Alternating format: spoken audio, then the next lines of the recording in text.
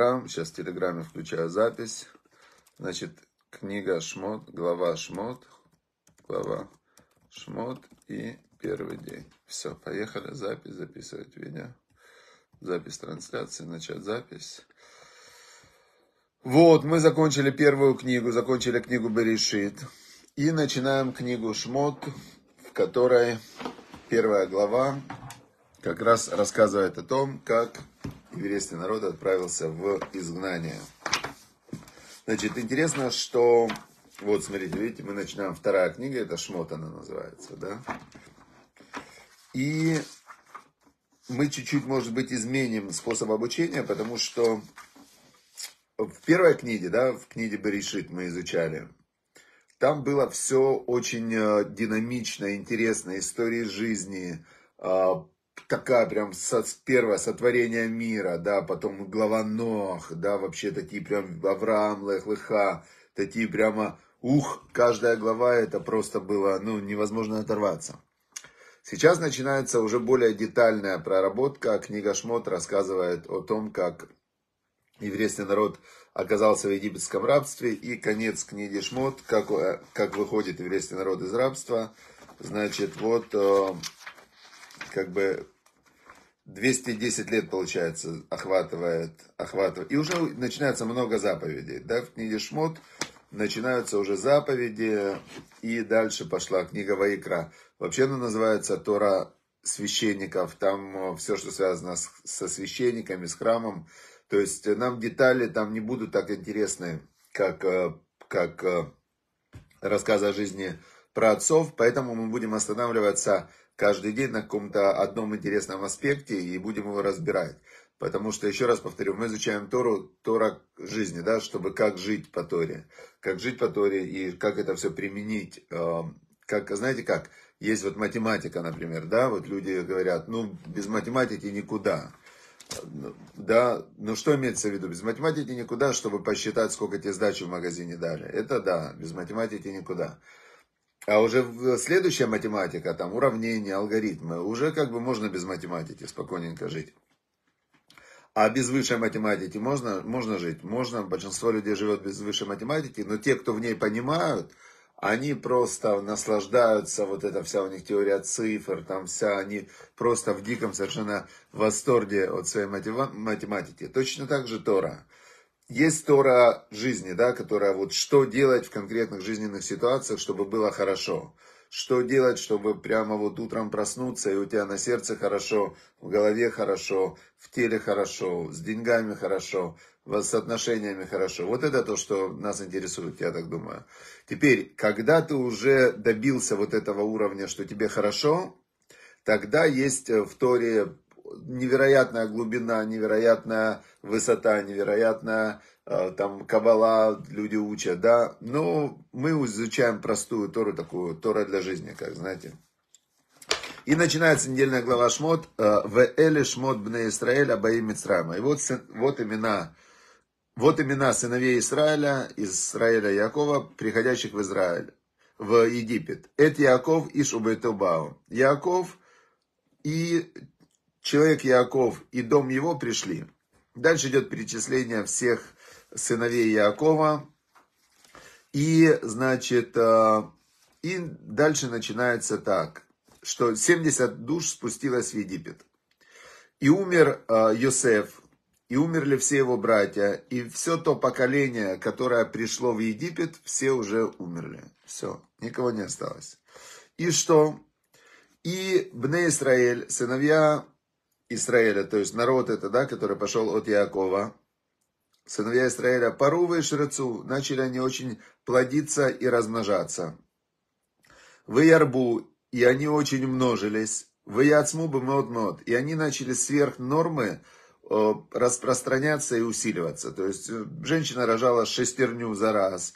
И дети были не то, что какие-то дети были какие-то там чахлые, а такие они были очень активные, такие прямо детишки. В Этимеле Арецу там. И они начали наполнять землю. То есть, э, давайте посчитаем. 70 человек, э, значит, 70 человек, допустим, у них родилось в, э, у каждого по, по 20 детей. Возьмем так, ну по максимуму, как мы можем себе представить. Значит, где у нас калькулятор? 70 умножить на 20, как раз математика, 1400, я вам могу сказать, 1400. Теперь у 1400 они сверх нормы размножались, э, родилось по 20 детей.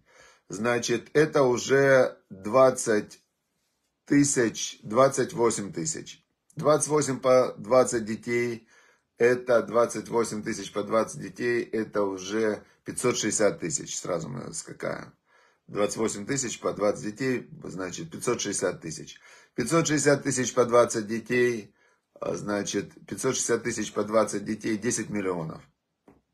Вот такая вот получается история. Правильно я считаю или нет? 500 тысяч по 10 детей, это 5 миллионов, а 10 миллионов. Да, по 20 детей, это 10 миллионов. В общем, начали они очень сильно размножаться. Очень-очень сильно они размножались. Вайкам Мелахадаш Аль Мицраем, и встал новый царь над Египтом, а Шерлоя дает Йосеф, который не знал Йосефа. Говорит нам устная Тора, что есть, которые говорят, что он не знал Йосефа, действительно не знал. То есть, ну, был какой-то Йосеф, да, спас Египет от голода, да, построил в Египте очень э, прекрасную систему элеваторов, там, построил систему налогов, построил там очень много всего он настроил. Ну, мало ли, было да было. Есть, которые говорят, что встал новый царь, а есть, которые говорят, что, ну, что царь остался тот же, но он подумал, ну ладно, уже все, нету Юсефа, нету того поколения, а вот есть евреи, которых мы пригласили в гости, пригласили мы их в гости здесь жить, а сейчас они здесь размножаются, давай их сделаем рабами. И, значит, э, давай исхитримся, сказал этот фараон новый, и, значит, э, вдруг будет э, война. То есть, знаете как, всегда, когда хочешь кого на кого-то напасть, надо вначале придумать, почему он плохой. Чтобы тебе было легко на сердце на него нападать. То есть, э, как когда-то есть история известная, когда шел Винни-Пух с пятачком, и вдруг Винни-Пух ударил пятачка. А пятачок говорит, Винни-Пух, за что ты меня бьешь? Он говорит, ты, наверное, про меня какую-то гадость думаешь. Вот я, то есть, без, как бы без причины ударить человека, а тем более его в рабство забрать, тем более убить, не, очень тяжело. Поэтому, например, те же фашисты, чтобы стерлась их память, они всегда говорили про э, там евреев, да, что они плохие, поэтому их надо убить. А детей за что? Ну, они будут плохими, когда вырастут. Да? Это ужасно. И вот это, это любой злодей идет по этой схеме. И сказал он фараон, давай-ка мы исхитримся, может они умножатся, может быть будет война, и они также добавятся к нашим врагам, которые будут с нами воевать. А, в Аламинарец, и они убегут э, из этой земли. То есть э, фараон даже не придумывал, знаете как, он не придумывал, что враги победят нас и так далее. Он говорит, а встанут на нас какие-то враги, будет война. Они к ним присоединятся и убегут, пока шум доделать. То есть даже он не стал придумывать, как, знаете, одна женщина приходит к э, психиатру и говорит, доктор, у меня, говорит, сон, меня преследует во сне негр. И вот он меня преследует, преследует, преследует. И потом он меня догоняет, и я к нему поворачиваюсь, а, а он стоит. Так что мне делать? Психиатр говорит, ну вы его спросите, что он хочет. Она на следующую ночь приходит и говорит, я его спросила, что он за меня преследует. А и знаете, что он мне ответил, доктор? Он говорит, что? Он мне ответил, не знаю, говорит, это же ваш сон. Чего вас преследую? Ваш сон, значит, сами придумаете, чего вас преследую. Так вот, здесь тоже фараон придумывал, а, придумывал, что плохого может быть, и даже в самом плохом сценарии он придумал, что они убегут из, из Египта, хотя они были свободные люди, и почему бы им не, не уехать из Египта. Но, значит, фараон решил закрыть границы. И что он сделал? Поставил на них а, министров, которые брали с них налоги, для того, чтобы их, а, их значит, налогами вначале придавить и чтобы они строили города для фараона Питом и Рамзес. То есть эти города уже были, но их, как бы говорили, Юсеф же их построил, давайте достраивайте, улучшайте там и так далее. И чем больше их э, угнетали, тем больше они умножались. И, значит, э, это было удивительно фараону и его приближенным, они уже начали гонения на них, да, как в Германии с 33 года были на евреев гонения, потом, и только потом там 39-го начали их убивать уже, да. Но постепенно, постепенно начинались гонения. В, и порабощали постепенно египтяне сынов Израиля в пустой работой. То есть они их э, вначале пустая, пустая работа, еще работа, еще, лишь бы только их поработить. В Ваймареру эт хаеем. И они очень делали горько их жизнь. Тяжелой работой, с, в основном на строительстве они были заняты. Хомер, Валиманим, возможно, что они строили вот эти вот пирамиды. Значит, и всякие работы в поле их заставляли делать. И, э, значит, э, дальше. Сказал царь Египта по, по этим женщинам, которые принимали роды, роды.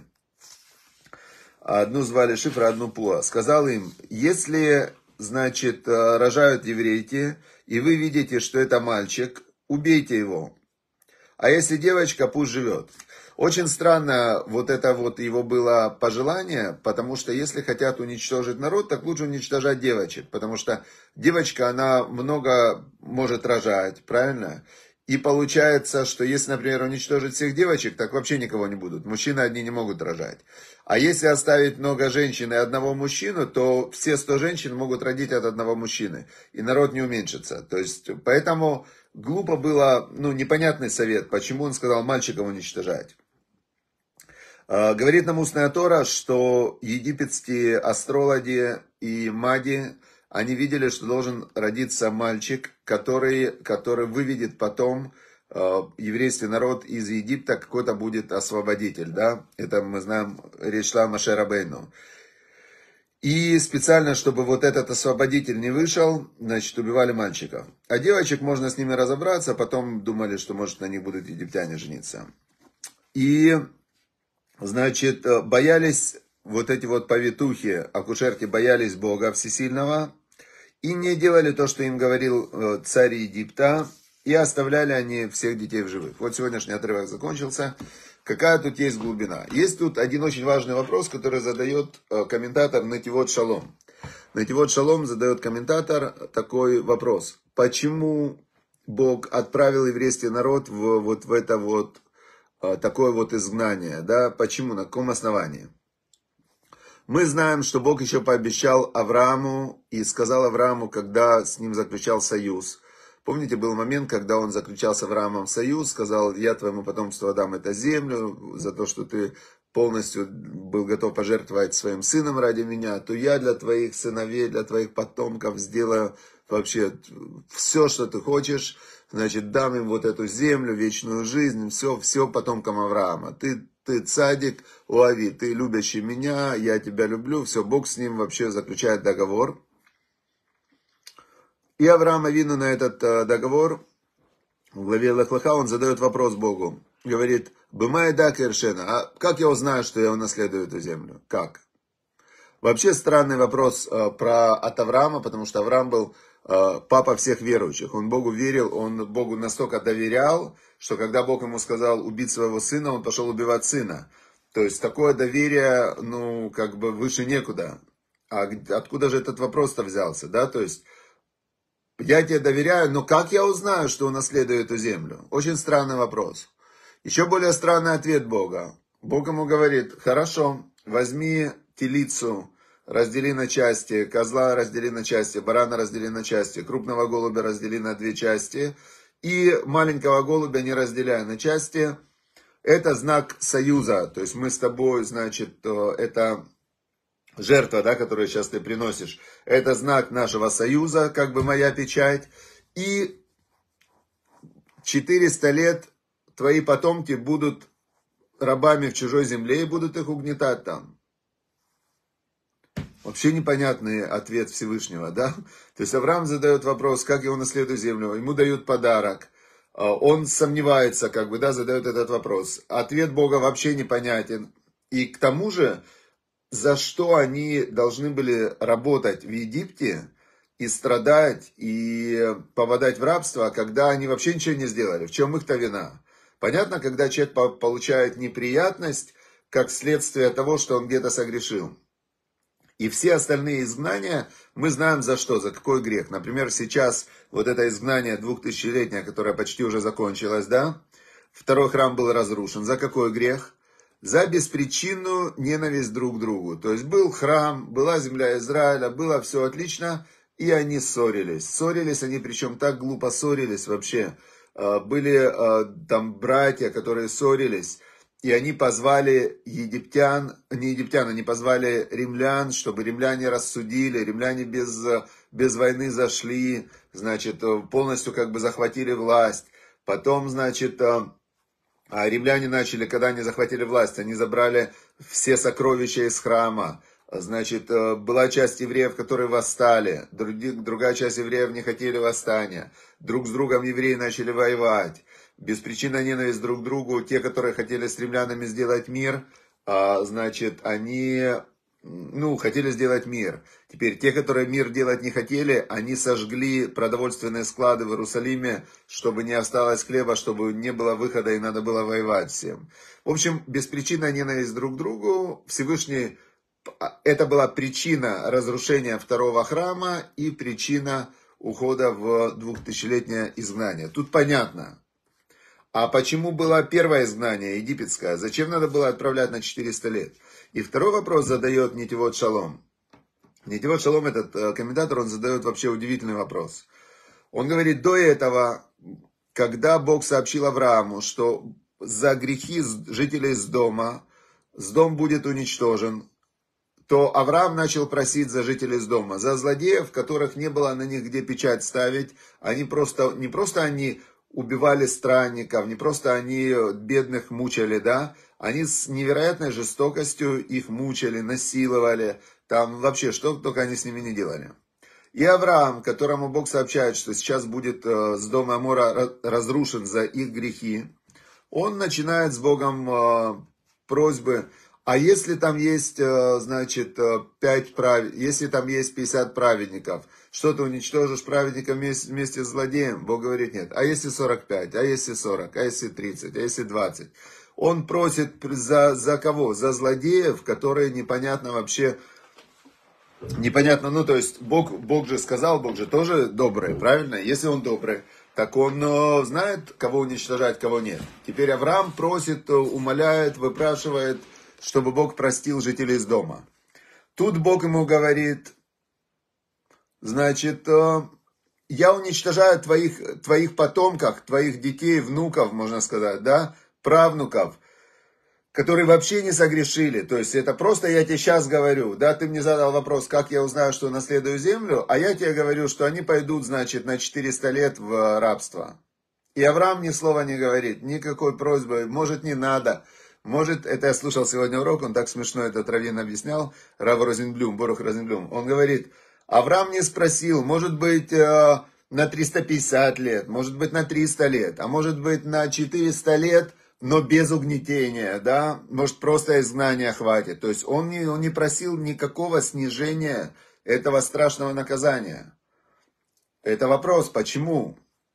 Первый вопрос, почему Бог их отправил на 400 лет в Египет? Причем а, он их отправил не за грех. Яков вместе со своими сыновьями спокойненько спустились в Египет. Бог сказал, я пойду вместе с вами. Это тоже в, прямо в первом отрывке Торы, это видно, обычно в книге Берешит было написано, Яков говорит, спуститесь в Египет, поднимитесь в Израиль, спуститесь, поднимитесь. То есть Израиль это он выше и географически, и духовно, чем, чем окрестные страны. Теперь в Израиле, например, мы говорим подняться в Иерусалим. Иерусалим, да, на холмах, но здесь есть еще смысл другой, подняться духовно в Иерусалим.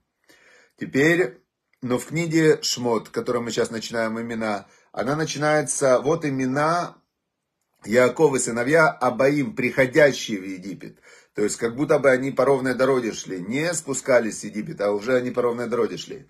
И объясняет тоже устная Тора, что, что это Бог, он с ними был, в, он ушел из Израиля, и в этот момент вся святость была сосредоточена на Якове и его семье. Но за что? За что их потом забрали в рабство? И почему Авраам, который услышал про вот такое вот, можно сказать, страшное наказание, они были 210 лет в тяжелейшем рабстве. Их заставляли работать, у них убивали детей, они были совершенно бесправны. Вот даже там негры в, Америке были более привилегированные, чем еврейский народ в Египте. Ни за что. Хорошие вопросы. Очень хорошие вопросы. Ответы на эти вопросы мы узнаем завтра. Завтра у нас будет продолжение, вторая часть недельной главы Шмот. И завтра мы узнаем ответы на эти вопросы. А, пока вы можете подумать, поискать ответы. Это интересные вопросы. Еще более интересные ответы, касаемые каждого из нас лично. Все, а мы, чтобы за то, что мы учим Тору, как а, написано, нер мицва, значит, каждая заповедь это свеча, и Тора, ор, Тора это свет, ведера хаим, а путь жизни, то хохот мусар, моральные, моральные, значит, дисциплина и моральное совершенствование, как сказал царь Соломон, значит, вот мы этим чуть позанимались с утра, и в заслугу этого, чтобы Бог услышал наши молитвы, чтобы мы целый день молились Всевышнему, чтобы было нам все хорошо в здоровье, в благополучии, в мире, в отношениях, и чтобы Всевышний принимал наши молитвы. Все, всем до завтра. Завтра встречаемся с Божьей помощью в 10 утра и узнаем ответ на эти два вопроса.